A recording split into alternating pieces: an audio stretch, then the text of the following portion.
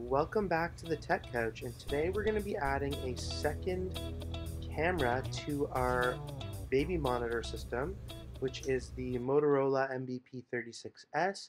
We've done an overview video of that which you could check out. We'll post a link to that in the description and we will also be doing a review of that which we will post in the description once that's ready as well.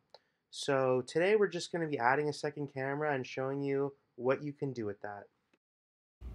So new setup, I'm going to just turn this on.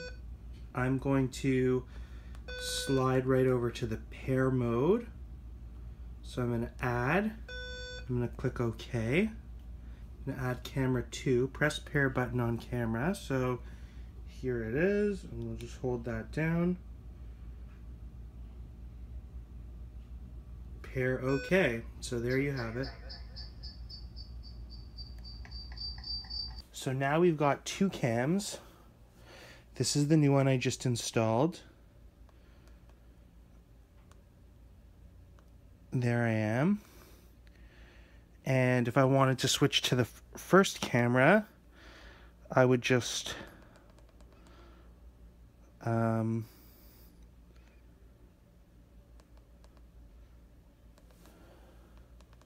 so I'd slide over to here and um, this is a way to see two both in one and I could jump back and forth between cameras by pressing the pan button.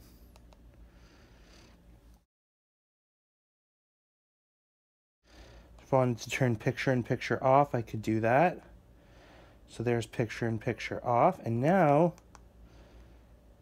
to pan between cameras, I push the OK button.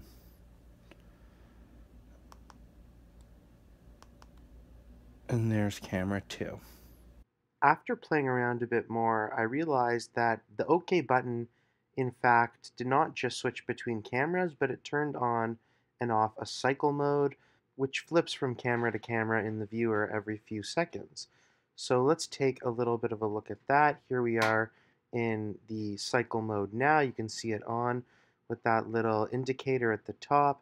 And what's going to happen is you see that it switches back and forth um, intermittently so that you can view both of the monitors without touching it.